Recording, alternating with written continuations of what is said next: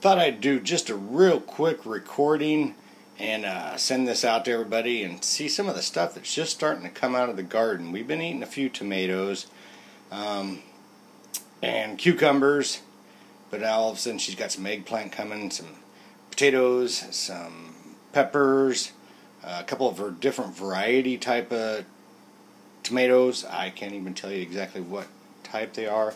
A um, couple different uh, cherry tomatoes, the yellow ones. Uh, those are really good. And so I just wanted to share this, and I think I'll be able to share a bunch more here real soon.